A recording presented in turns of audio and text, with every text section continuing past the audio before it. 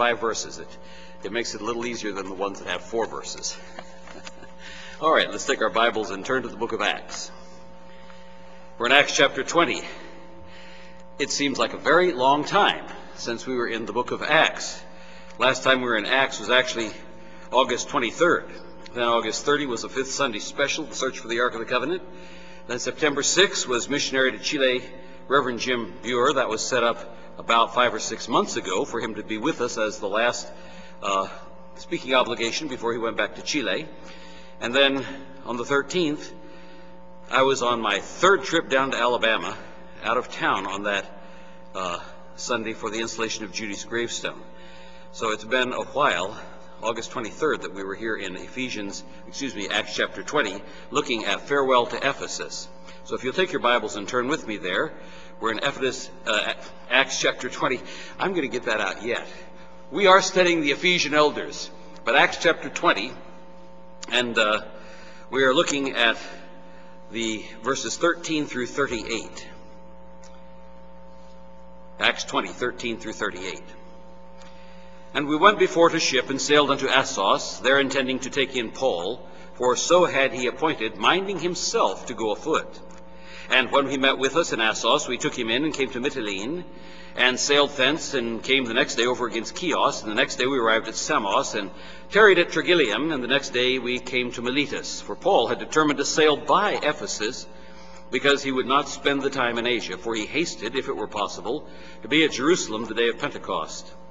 And from Miletus he sent to, the, to Ephesus, and called the elders of the church. And when they were come to him, he said unto them, Ye know from the first day that I came into Asia what manner I have been with you at all seasons, serving the Lord with all humility of mind, and with many tears and temptations, which befell me by the lying and wait of the Jews, and how I kept back nothing that was profitable unto you, but I have showed you and have taught you publicly, and from house to house, testifying both to the Jews and also to the Greeks, repentance toward God, and faith toward our Lord Jesus Christ. And now, behold, I go bound in the Spirit unto Jerusalem, not knowing the things that shall befall me there, save that the Holy Ghost witnesseth in every city, saying that bonds and afflictions abide me. But none of these things move me. Neither count I my life dear unto myself, so that I might finish my course with joy in the ministry which I have received of the Lord Jesus to testify the gospel of the grace of God. And now behold, I know that ye all, among whom I have gone preaching the kingdom of God, shall see my face no more. Wherefore I take you to record this day that I am pure from the blood of all men. For I have not shunned to declare unto you all the counsel of God. Take heed therefore unto yourselves and to all the flock, over the which the Holy Ghost hath made you overseers, to feed the church of God, which he hath purchased with his own blood. For I know this, that after my departing shall grievous wolves enter in unto you, not sparing the flock. Also of your own selves shall men arise, speaking perverse things to draw away disciples after them. Therefore, watch and remember that by the space of three years I ceased not to warn every one night and day with tears.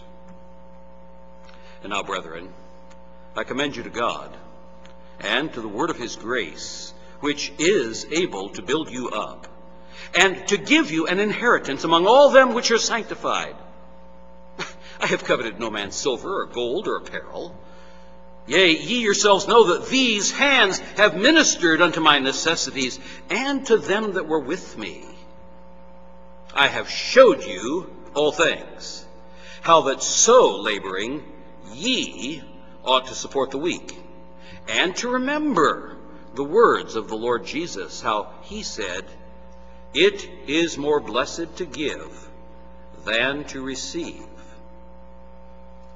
And when he had thus spoken, he kneeled down and prayed with them all. And they all wept sore and fell on Paul's neck and kissed him, sorrowing most of all for the words which he spake, that they should see his face no more. And they accompanied him unto the ship. Oh, Amen. Our gracious Heavenly Father, how we thank you for this moving section of the book of Acts. It reminds us that the Apostle Paul was not a little machine running around and spitting out Bible verses, but he was a person who loved and was well loved by those to whom he ministered.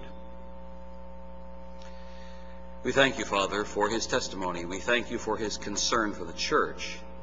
We thank you for the supernatural insight that you gave him, even among men who were godly men, that they still had old sin natures. They still would do things that were wrong, as do all of us.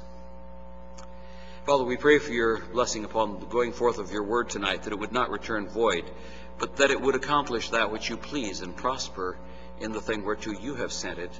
For we pray it in Jesus' name. Amen. Now, we've noted in the past two messages that this passage can be approached in at least seven different ways. It's good for us to remember that because we are having to sort of mix and mingle these ways as we go through the passage. But we're also taking some sections and dealing with them straight doctrinally, just that one particular issue. But the seven ways that it can be approached can be approached historically. That is, how divine intersections of life produce lasting results. And we see some divine intersections here as Paul calls for, and they come, the elders of Ephesus. It can be approached prophetically, things that Paul foretold, some of which apply universally to the church. And we're going to be talking about some of those things prophetically tonight uh, as he is forecasting what these men whom he himself has appointed will do after he departs. It can be approached doctrinally, and we're going to see some of the key doctrines tonight, especially in the area of leadership, that the Apostle Paul makes reference to here in the passage. They can approach personally the cost of serving in ministry, both to those who minister and to those who receive ministry. We've dealt with that already. It can be approached as a study of the impelling will of God. Paul knew that he had to do. He had to go to Jerusalem. The Holy Spirit told him so, even though all the prophets along the way said bad things are going to happen when you get there. It can be approached as a guide for finishing the end of a ministry and the end of a life. It's very good on that. That will be one of our last messages, perhaps next week, on this passage. A guide for finishing the end of a ministry and finishing the end of a life. Are you ready? We talked about being ready this morning. My question you say you're a Christian, so how has it changed your life? If there's no fruit in your life, it's proof, says Paul, that you are not saved because the Holy Spirit always transforms our lives. We'll still sin, but there is progress in the right direction as God the Spirit begins to work in our hearts and conform us to the image of Christ. And finally, it can be approached as a crash course instructing church leadership. And we'll be getting into some of that tonight uh, as we look at the doctrinal and prophetic sections of this passage. Now, what we've learned so far, Paul had a vow on him. We learned back in chapter 18 that Paul wanted to go to Jerusalem to be at Pentecost so he could fulfill his Nazarite vow. And we saw that in Acts 18 18. We saw the insurrection that was made in Acts 18 12 and following, uh, where they were claiming that Paul was persuading people to worship God in a way that was illegal, and yet Paul himself was obeying the law perfectly to fulfill a vow which he had made under the law. Now, last time, in part three, we saw that church leaders are supposed to teach everything that is profitable, but to major on the majors. In this text that we just read here a moment ago, there are five majors that are listed. Number one, repentance. Number two, faith. Number three, the gospel. Number four, grace and number five, the kingdom of God. You'll see those in verses 20, 21, 24, and 25. Those five things are listed for us in those verses. Paul says, When I was out there preaching among you, those are the things I emphasized. I emphasized repentance, which means he preached against sin. well, when we think about preaching repentance, just remember what that means is listing specific sins and telling people if you're doing this, you need to repent. You need to confess it, you need to get it right with God, but you need to stop doing it. Repentance is the first thing that he preached. The second thing that he preached, he says, and I preached faith. Verse 21, testifying both of the Jews and also the Greeks, repentance toward God and faith toward our Lord Jesus Christ. That's what's called a copulative kai, and it, it joins those two things that you can't separate them. You have to have both of them. There's an easy, easy believism that's floating around out there today that just says believe on the Lord Jesus Christ and you'll be saved, but it never changes your life. Genuine repentance means a turnabout, a 180 degree turnabout. The word is metanoia, and it means to you're going east, you head west. You're going north, you head south. It's a total change of life. But he says it's not just a matter of changing what you're doing. There has to be faith involved. And there is a specific object of your faith, and that is the Lord Jesus Christ. It's interesting that when the Apostle Paul refers to the Lord Jesus Christ, he didn't just talk about him as Jesus, he talks about him as the Lord Jesus Christ. Now, there are people who are out there teaching lordship salvation, that if he's not Lord of all, he's not Lord at all. I don't think that's what Paul is teaching here. But Jesus should be, in practical terms, the Lord of your life. In theological terms, he is the Lord of your life. But in practical terms, he should be the Lord of your life in every aspect of your being. No matter what you're doing, no matter what sphere of influence you're walking in, he should be the Lord controlling everything that you do. You should always submit your will to his will. Don't be stubborn. Don't be recalcitrant. Don't be obstinate. But say, You are a Lord. What do you want me to do? Here I, Lord. Send me, as Isaiah the prophet said. Paul, when he was sitting around in darkness, in blindness, waiting for something to happen. Lord, what will you have me to do? Not just what will you have me to believe, what will you have me to do? The Christian life is not a matter of theory. The Christian life is walking by faith, doing the will of God, not merely believing the will of God. So we find repentance, then we find faith, and those, of course, are very important to us. But then he talks about the gospel. We have an obligation to communicate the gospel. Now, I got a little book that was handed to me, oh, maybe a week and a half ago, and it says, What is the gospel? And I was just glancing through it, haven't had time to read it yet. It's about 75, 80 pages long. Uh, and it is amazing the author is going through all these different things that people claim to be the gospel, and he cites the different sources where those are.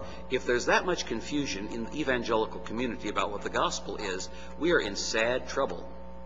The gospel, that means the good news, is not what you can do, but what Christ has done. Some people say the gospel is believe on the Lord Jesus Christ, and thou shalt be saved. No, that's a response to the gospel. There's a difference between the gospel itself and a response to the gospel. The gospel is, and Paul tells us this in 1 Corinthians 15, verses 3 and 4, that Christ died for our sins according to the Scriptures, and that he was buried, and that he rose again the third day according to the Scriptures. The gospel is the good news of what God has done, not what you can do or what you ought to do. The gospel is that Jesus died for you, he was buried, and he rose again. That's the good news. You can't pay for your sins. You can't work your way to heaven. There's nothing that you can do. All your works are filthy rags, as the book of Isaiah tells us. We are all undone. We are all unclean. But Jesus paid for our sins. The gospel centers on who Jesus is and what he did. The gospel centers on the fact that Christ died for our sins. But that wouldn't help us if Jesus isn't God, because only God can forgive sins. So the gospel is the third thing. Grace is the next thing. I'm afraid that many in our circles, in Reformed circles, tend to emphasize law, but they fail to emphasize grace. Now, the proclamation of law is important because it brings us under conviction of sin. Law shows us the righteous holiness of God. And it shows us the filthy, stinking sinfulness of man. You must proclaim that there is a holy God, that men are sinners, that they are lost. When you compare God's standards with man's standards, man fails every time. Paul tells us in the book of Galatians that the law is a schoolmaster to bring us to Christ. A schoolmaster was the one who had the authority to beat the students. and that's what the law does it beats you. The law beats you and beats you and beats you until you come running to Christ for grace. You're not saved by the law. You're not sanctified by the law. But you are saved by the grace of God. You are sanctified by the grace of God because of what Christ has done. And so he preached unto them grace. Then he goes on and he says, I've gone also preaching the kingdom of God. Now, the kingdom of God relates to the millennium, and we talked about that, well, three times ago, whatever week that was. That was so far ago. But we talked about the kingdom of God and its relationship to the millennium. And in the context, Paul is talking to them about how to live the Christian life in view of, big theological term, eschatology.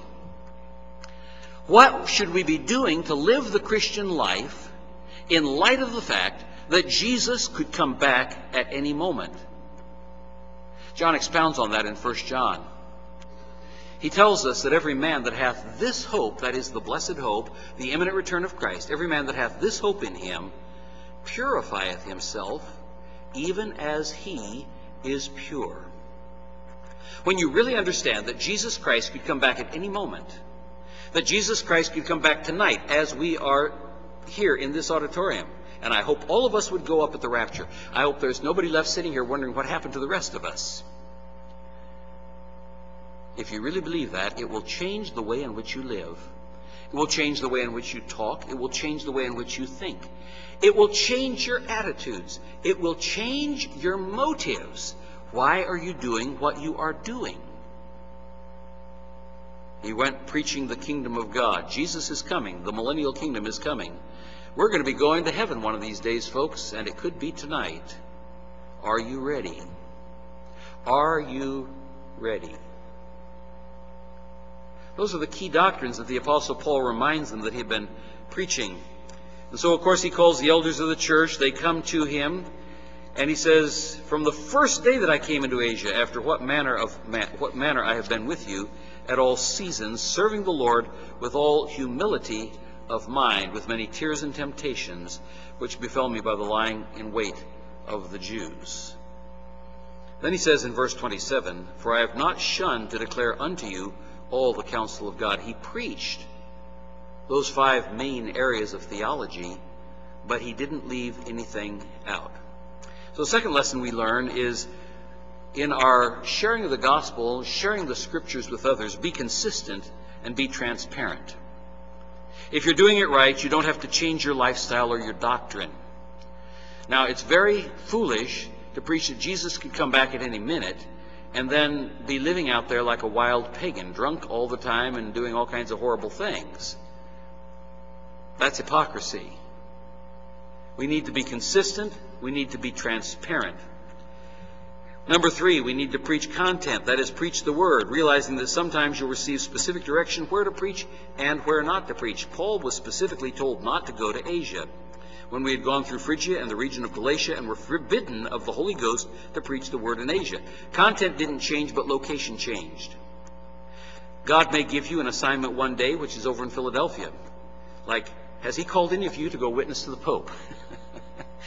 Somebody raise their hand, yes. Okay, do it. Where has He called you to go? What has He called you to do?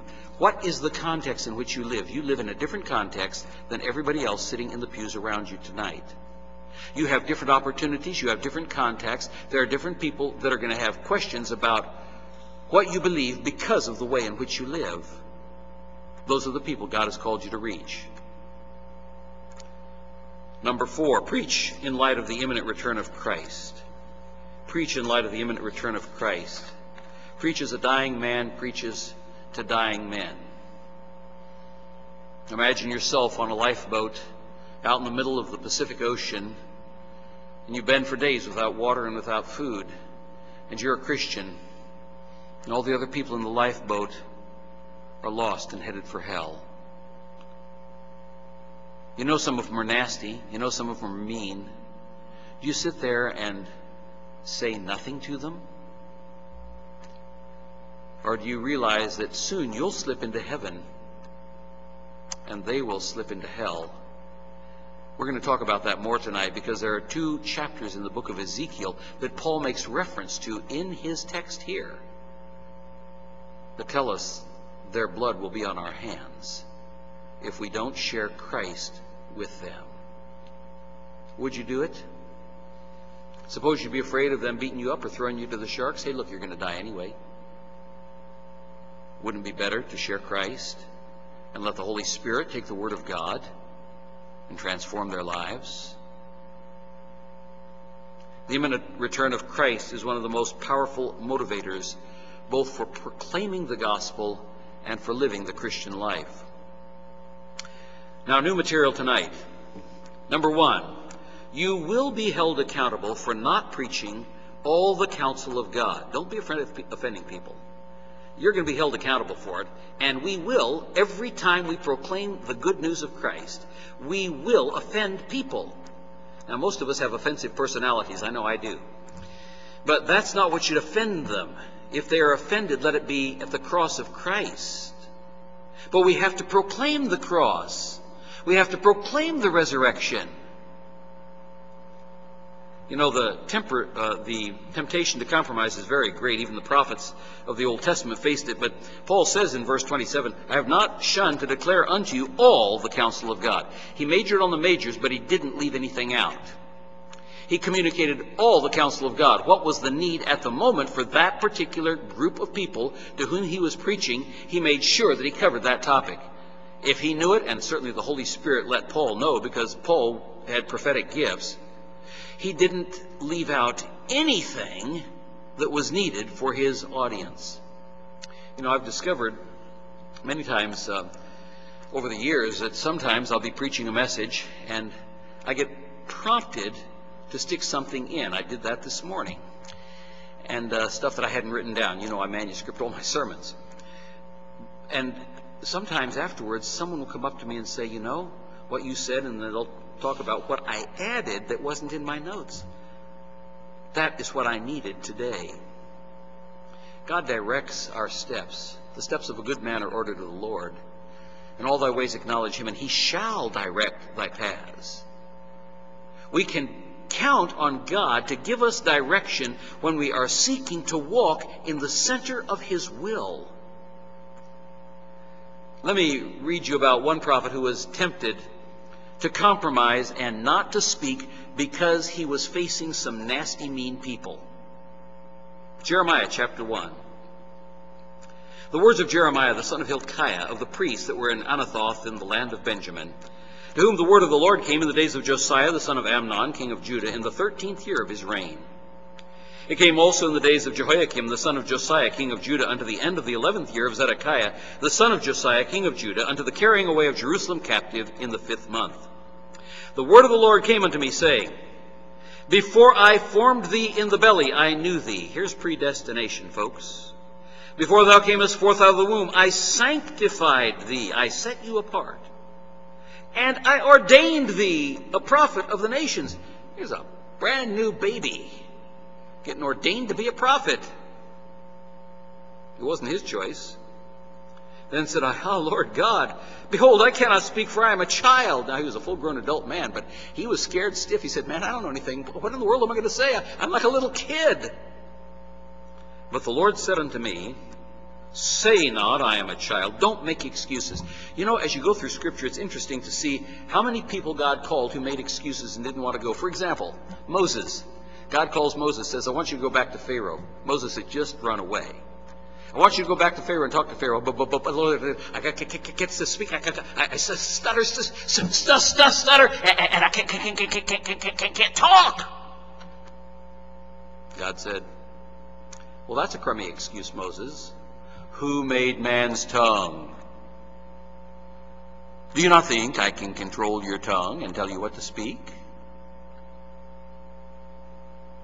You know, we make excuses to not do what God wants us to do. But you know, none of our excuses hold water. Jeremiah is trying to make an excuse here. Hey, I, I, can't do this. I'm, you know, I don't know anything. I'm like a little kid. And God says, Say not, I am a child, for thou shalt go to all that I shall send thee. And whatsoever I command thee, thou shalt speak. That's pretty blunt, isn't it? Pretty straightforward. Did you know we've been given a command? Go ye into all the world and preach the gospel to every creature. And ye shall be witnesses unto me both in Jerusalem and in Judea and in Samaria and unto the uttermost parts of the earth. We can't even talk to our neighbors across the fence. We'll all be giving an account someday. Ah, but Jeremiah goes on. The Lord said unto me, Say not, I am a child, for thou shalt go to all that I shall send thee, and whatsoever I command thee, thou shalt speak. Now, verse 8. Here was his temptation. This is why he, why he wanted to compromise, why he wanted to give up. Why Paul says, you know, don't give up, and I have not shunned to declare unto you all the counsel of God. Paul had plenty of opposition. We've seen that all the way through the book of Acts. But Paul did it because God said to do it. God says to Jeremiah, Be not afraid of their faces.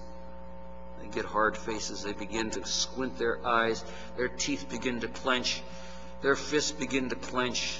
They begin to snort and they begin to move in his direction. Be not afraid of their faces. For I am with thee to deliver thee, saith the Lord. Is God bigger than the ugly faces that you have to look at who don't like what you're saying? Is God bigger? I think you'd say yes to that. I hope you would. For I am with thee to deliver thee, saith the Lord. Then the Lord put forth his hand and touched my mouth. And the Lord said unto me, Behold, I have put my words in thy mouth. God has given us his word. If you're faithful, you're reading it. If you're faithful, you're studying it. If you're faithful, you're memorizing it. If you're faithful, you are meditating upon it. God has put his words in your mouth. Are you speaking them? See, I have this day set thee over the nations and over the kingdoms to root out and to pull down and to destroy and to throw down and to build and to plant. The rubbish has to be removed first before you can build and plant.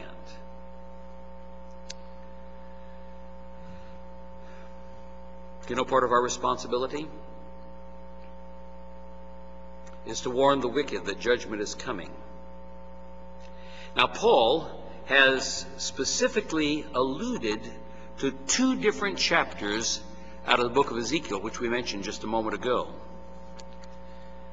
Paul says, I am pure from the blood of all men, because I have not shunned to declare unto you all the counsel of God. I wonder if when we stand before Christ, all of us will be able to say, We are pure from the blood of all men, because we have not shunned to declare all the counsel of God. We're going to look at what is called a transdispensational principle here tonight. Something that extends through the Old Testament all the way into the New Testament. There are a lot of things like that in Scripture. Not everything. For example, we're no longer under the dietary laws of the Old Testament. You can eat pork if you would like to eat pork. You can eat shellfish if you would like to eat shellfish. Uh, that's made very clear in Acts chapter 10. All those unclean things that were unclean in the Old Testament by ritual purification standards, Peter sees them in the sheep that's being let down from heaven. And God himself says to Peter, Arise, Peter, kill and eat. And later we find the Apostle Paul making the statement, Every creature of God is good, and nothing to be refused if it be received with thanksgiving, for it is sanctified by the word of God and prayer. Those are things that don't move from one dispensation to another. But some things do. No matter where you are, whether you're under the law or under grace, you'll find that there are some things that transfer across. We're going to look at one of those tonight. And Paul is alluding here to Ezekiel 3 and Ezekiel 33 verses 26 and 27 of Acts 20.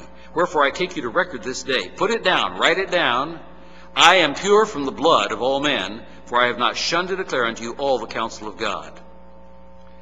Now, did you know that Ezekiel, that's Old Testament, that's 597 BC. Ezekiel went in the second deportation to Babylon. Three different deportations 605 BC, 597, 586. Three times Nebuchadnezzar came and sacked the city of Jerusalem. On that last occasion, he actually burned the city down to the ground. The first time he took all the nobles and the princes. The second time he took the upper class. Third time he took many of the poor, ruined the city, and then scattered the people. Ezekiel 597. 597 years, almost 600 years before Christ. Ezekiel tells us that we will be held responsible for the blood of those who die in their sins if we don't warn them. That's what Paul is repeating here in Acts. He's citing Ezekiel. In other words, the principle applies to the age of grace as well as under the law. Now, I know the doctrine of election, and I believe it strongly, that only the elect will be saved. But there also is the doctrine of personal responsibility. And that's clearly taught in Scripture. You can't just say, well, you know, if God is predestined it, it'll happen. No, God has given each one of us responsibility and obligation. And that's what Paul is rehearsing here to the Ephesian elders. I did the job God called me to do. Now, I know He's sovereign and He'll do what He wants to do with it, but my job is to obey. My job is to proclaim the gospel. My job is to teach you all the counsel of God. My gospel is to, my, my responsibility is to teach you about repentance and about faith and about grace. And then God takes it and uses it. Because his word does not return void, it accomplishes that which it pleases, and it prospers in the thing whereto he has sent it. You don't know why he sent it or why he sent it by you, but you know that it will prosper because it is the Word of God. If we could just learn that, just learn to obey happily. You know, ours is not the reason why, ours is but to do and die, like the uh, charge of the Light Brigade. Our responsibility is simply obey God and let Him take care of the results. There is human responsibility. Now, question each one of us will have to face someday. How many people have died in their sins because we failed to warn them? Let me read you what Ezekiel says. I'm going to read you some verses out of chapter 3, and then 30 chapters later, he says the same thing again. This is Ezekiel chapter 3, verse 16. It came to pass at the end of seven days that the word of the Lord came unto me, saying, and by the way, uh, it's interesting to me, that phrase, the word of the Lord came unto me, it's he came unto me. It's not just there was a bingo in his head, boing, like a telephone call, and God sort of spoke into his ear. It says, the word of the Lord came unto me. The scripture makes it clear that Jesus Christ is the Word. You will find that all over the Old Testament several thousand times the word of the Lord, He said. The word of the Lord came to me. The word of the Lord told me. Jesus is the word of the Lord. In the beginning was the Word, and the Word was with God, and the Word was God. The same was in the beginning with God. All things were made by Him, and without Him was not anything made that was made. And the Word was made flesh, John 1.14, and dwelt among us. And we beheld His glory, the glory as of the only begotten of the Father, full of grace, of grace and truth. At the end of seven days, the word of the Lord came unto me, saying, Son of man. Interesting. That is Jesus' favorite term for himself, is the Son of Man. His favorite term for himself in the Gospels, if you read through, is not Son of God, it's Son of Man. He's emphasizing his real humanity. And God calls Ezekiel also Son of Man. I have made thee a watchman unto the house of Israel. Therefore hear the word at my mouth, and give them warning from me. When I say unto the wicked, Thou shalt surely die, and thou givest him not warning, nor speakest to warn the wicked from his wicked way to save his life, the same wicked man shall die in his iniquity. Now get the last phrase. But his blood will I require at thine hand. That's spoken to Ezekiel. Ezekiel's a pretty powerful prophet. God says, if you don't warn him, he will die in his iniquity. But I'll require his blood at your hand. How many people have died in their sins because we didn't warn them? We had the opportunity. Yet if thou warn the wicked, and he turn not from his wickedness, nor from his wicked way, he shall die in his iniquity, but thou hast delivered thy soul. Again, when a righteous man doth turn from his righteousness and commit iniquity, and I lay a stumbling block before him, he shall die. The righteous sin too. We see some of them in our text tonight. Some of the elders who defect, some of the elders who decide to walk in the flesh, some of the elders who try to pull people out underneath them. He talks about those who come in from the outside like wolves, but he talks about those who rise up in their midst. When a righteous man doth turn from his righteousness and commit iniquity, and I lay a stumbling block before him, because God sees it, and God will make him trip, he shall die. God always chastens his own. Because thou hast not given him warning, he shall die in his sin, and his righteousness which he hath done shall not be remembered. Get that last phrase. But his blood will I require at thine hand. We have an obligation not only to the pagans, not only to the unsaved people, not only to the lost people who are out there, to warn them about their wicked ways. And if we do and they don't repent, then they die in their sins and we're okay. But if we don't warn them, God requires their blood at our hands. But he says the same thing about believers, about righteous men. And we see them involved in sin, and we fail to warn them about their sin. And God chastens them, and he can chasten even unto death. There is a sin unto death. I do not say that he shall even pray for it, says James. God will require their blood at our hand. That's what Paul is making reference to here. Paul had a very great burden, a very great uh, sense of the urgency of the hour of telling people the truth. Are we just sort of lackadaisically sliding through life, letting things pass by as ho hum and ho hum? Do we not have a sense of urgency that all around us people are dying and going to hell?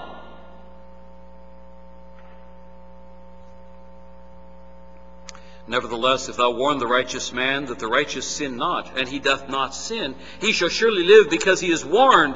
Also thou hast delivered thy soul.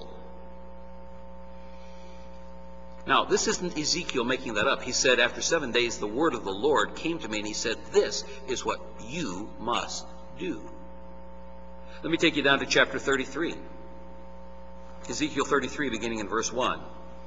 Again, the word of the Lord came unto me, saying, Son of man, speak to the children of thy people, and say unto them, When I bring the sword upon a land, if the people of the land take a man of their coast and set him for their watchman, if, when he seeth the sword come upon the land, he blow the trumpet and warn the people, then whosoever heareth the sound of the trumpet and taketh not warning, if the sword come and take him away, his blood shall be upon his own head. Makes sense, doesn't it? Imagine yourself in World War II London and you hear the sirens go off, and you know that the Nazis are about to bomb London. It happened over and over and over again. And you say, you know, I'm really tired of listening to those sirens. I'm busy doing something else. I'm having fun. I think I'll just keep on having fun. Now, the sirens warned you. And if you don't take shelter and the bomb falls, what do you expect? What God is telling Ezekiel. They didn't have sirens, but they had men with trumpets. And the trumpeters were, were out there on the, on the edge of the city or on the edge of the horizon where they could see that the army of the enemy was coming in. And as soon as they saw the glint of the light on the shields and the spears, they would blow the trumpet. The enemy is coming. Get ready.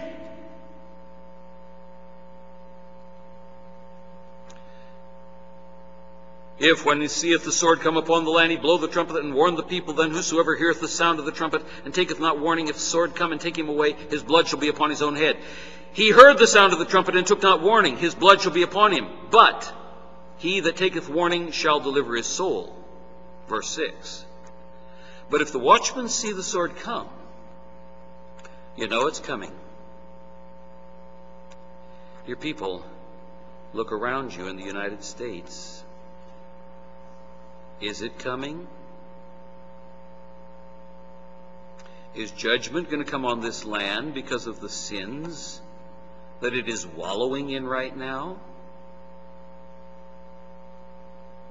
If the watchmen see the sword come and blow not the trumpet, and the people be not warned, if the sword come and take any person from among them, he is taken away in his iniquity, But his blood will I require at the watchman's hand.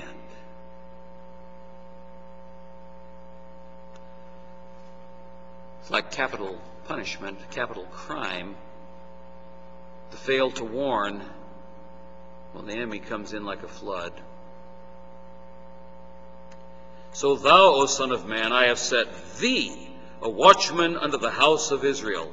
Therefore thou shalt hear the word at my mouth, and warn them from me. When I say unto the wicked, O wicked man, thou shalt surely die, if thou dost not speak to warn the wicked from his way, that wicked man shall die in his iniquity, but his blood will I require at thine hand. You can't use the excuse, well, you know, God said he would tell them. Well, after all, they got the Bible. You know, they got a Bible. They can read it for themselves. God says, I'll tell them, but if you don't tell them, his blood will I require at thine hand. Verse 9. Nevertheless, if thou warn the wicked of his way to turn from it, if he do not turn from his way, he shall die in his iniquity. But thou hast delivered thy soul. It's particularly important to notice to whom Paul is speaking. Now, those principles apply to all of us because all of us have opportunity to warn the wicked. But he's talking to the church leaders. He's talking to the elders. When he makes this reference back to Ezekiel 3 and Ezekiel chapter 33. Church leaders have a responsibility of warning and of standing and not being afraid. Like Jeremiah trembled in his boots, but God said, You'd better do what I tell you to do. Otherwise, you are in serious trouble. He's warning them about what happens when an elder defects from the biblical qualifications. That's the warning Paul is giving to them, but he's also quoting a passage that reminds them of the warning that they're supposed to be giving to others as well. These are the men whom the Apostle Paul himself had appointed at Ephesus. They were leading a solid, fundamental church that was known for its sound doctrine. We see that in the book of Revelation, where the letter to the church at Ephesus says, Yeah, I know you all. you you guys are great theologically. You got it together when it comes to systematic theology, when you got when you've got historical theology, when you've got practical theology, you've got it all. You know your stuff.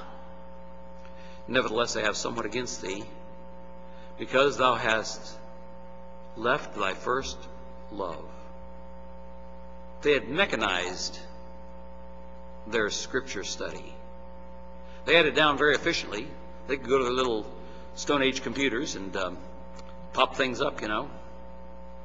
They knew all the answers to all the heretics, but they had lost their love for Christ. It's not just enough to be a good, sound doctrinal church because even there, wickedness can creep in. This is a church known for its sound doctrine. One of the most doctrinally mature epistles in the New Testament was written to Ephesus. Well, where the church is strong, remember, Satan always mounts his most vicious attacks. There are 23 biblical qualifications. We're not going to get through this tonight. I can see it's already 10 after. But let me just give you an overview. There are 23 biblical qualifications for elders in Scripture and there are 17 biblical qualifications for deacons. You can actually imply more from the context of the two major passages where it tells us the qualifications for elders. For example, a willingness to confront false teachings and false accusers. That's not stated as one of the things, but it's implied by what Paul says as he writes both to Timothy and Titus. There are 23 that are definitive slated. The two key passages are 1 Timothy chapter 3 and Titus chapter 1. And in uh, 1 Timothy, he speaks about the bishop. That's uh, a word that means an overseer. That is a word that is used of the elders when he's writing to Timothy. And then he talks about the elders in Titus, and we see a very parallel list, although a few additional qualifications are found in the book of Titus that are not listed when Paul writes to Timothy. Let me just read it through for you quickly, and I'll number them, and then I'll read the Titus passage because we won't be, have time to really discuss these tonight. Hope to finish it up next week. 1 Timothy chapter 3, verse 1 is where I'm starting. This is a true saying. If a man desire the office of a bishop, that is an overseer, one who is an elder in the church, he desireth a good work. A bishop then must be, number one, blameless. Doesn't say sinless, it says blameless. We'll talk about that later. Number two, the husband of one wife. Number three, vigilant. Number four, sober. Number five, of good behavior. Number six, given to hospitality. That is very hospitable, likes to have people into his house. Number seven, apt or skilled at teaching. Number eight, not given to wine. Number nine, no striker. Number ten, not greedy of filthy lucre. Number eleven, patient. Number 12, not a brawler. Number 13, not covetous. Number 14, one that ruleth well his own house. Number 15, having his children in subjection with all gravity. By the way, you notice that three of these qualifications that we've listed so far, numbers 2, 14, and 15, all relate to family, and these are the only qualifications that are extensively expanded on in the list in verse 5, that's very highly significant. Verse number 5 says, For if a man know not how to rule his own house, how shall he take care of the church of God? Now, number 16 and 17, which we'll see in just a second, also have shorter commentary on them, but the one that gets the big commentary is a threefold thing that relates to family. Verse 6, number 16, not a novice. And here's your short commentary, lest being lifted up with pride he fall into the condemnation of the devil. Number 17 and verse 7, Moreover, he must have a good report of them which are without, and here's your short commentary, lest he fall into reproach and the snare of the devil. Now, none of those qualifications are optional. You can't just say, well, you know, this guy's got five of them. He's better than the guy that's got four, so let's elect the guy that has five. To ignore any one or more biblical qualifications is to put the church in jeopardy. Even when men meet all these qualifications, they can still fall into sin that disqualifies them from church leadership. That happened at Ephesus. Those were men that Paul knew were qualified. And some of them defected after Paul left. Paul lists additional qualifications in Titus, and of course many of these are the same as in 1 Timothy. So I'm going to give the number of that I assigned to it back in Timothy as I read this Titus passage through and you'll see that it sort of bounces around. It's not in the same order, although the first couple are in the same order, but then it bounces around because it picks up some of the later ones that modify the ones that he just said. For this cause, this is Titus chapter 1, beginning in verse 5, For this cause left I thee in Crete, that thou shouldest set in order the things that are wanting and ordain elders in every city, as I had appointed thee. Fascinating there, too. It wasn't popular election, it was by choice of a mature, seasoned leader. Verse 6 If anyone be one, blameless. That was the number one you recall back there in Timothy. Number two, the husband of one wife. That was also number two back in Timothy. Then he jumps to number 15. Number 15 in 1 Timothy 4 was having children in subjection with all gravity. Here is having faithful children, not accused of riot or unruly. Verse 7 of Titus chapter 1, for a bishop must be blameless. He restates number 1. That was number 1 in 1 Timothy. It's number 1 in Titus, and it's restated here in verse 7. Then he goes to number 9, as the steward of God. Then he adds a new one.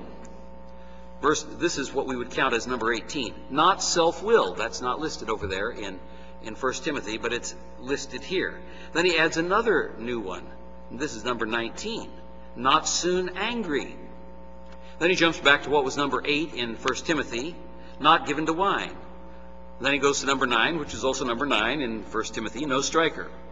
Number 10 out of 1 Timothy, not given to filthy lucre. Then he jumps back to number 6, but a lover of hospitality.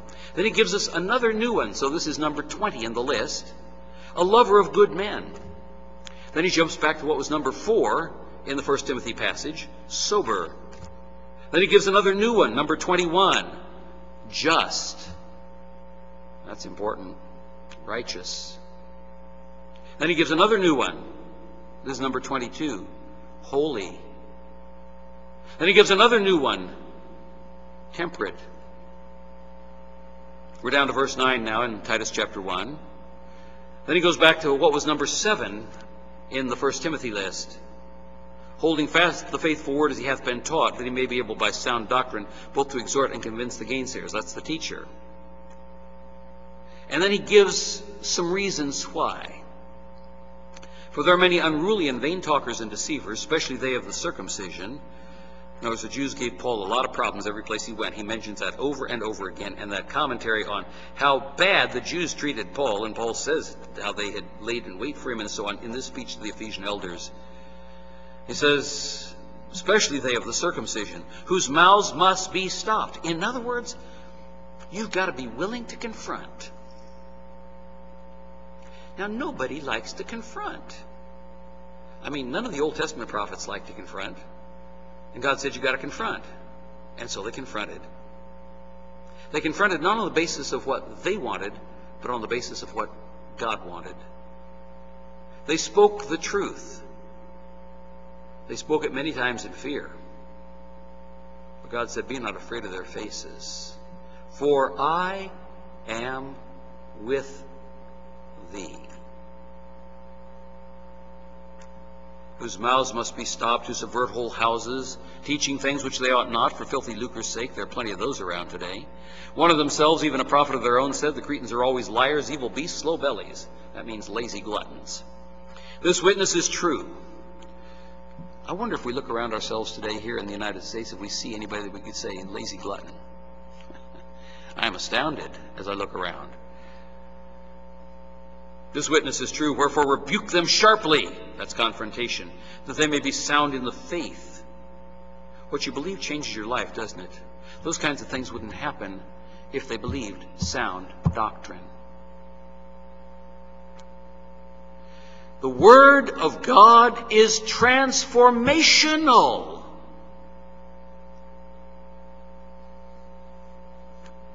Not giving heed to Jewish fables and commandments of men that turn from the truth. Unto the pure all things are pure, but unto them that are defiled and unbelieving is nothing pure. But even their mind and conscience is defiled. They profess that they know God. A lot of people talk the walk, talk, but don't walk the walk. But in works they deny him, being abominable and disobedient, and unto every good work reprobate. Remember Paul gave that warning? He said, I have not failed to declare unto you the whole counsel of God, everything and that makes me pure from the blood of all men. Remember Ezekiel 3, Ezekiel 33. I hope you can remember that. Those are easy numbers to remember. They're 30 chapters apart. 3 and 33. 3 and 33. Let's say it together. 3 and 33. Say it again. 3 and 33. What book? Ezekiel. We have a responsibility, and particularly church leaders, but many of you are church leaders. You have responsibilities in Sunday school. You have responsibilities in vacation Bible school. Many of you have responsibilities in your employment. You say, well, you can't, can't, can't mix my, my, my theology with, uh, with my work. Uh, I would, you know, uh, Jesus is Lord of my life when I'm inside the four walls of the church. Is Jesus the Lord of your life? all the time? Be not afraid of their faces, for I am with thee. That's what God told Jeremiah. And someday, we'll have the parade of people go past us that died in their sins. We failed to warn them. We won't be able to say at that point, oh, well, they weren't among God's elect anyway. The question is, did we do what God told us to do? Did we obey? Paul, with a clear conscience, could say that he was clean from the blood of all men because he had declared all the counsel of God. I pray that when we stand before Christ, we'll be able to say the same thing.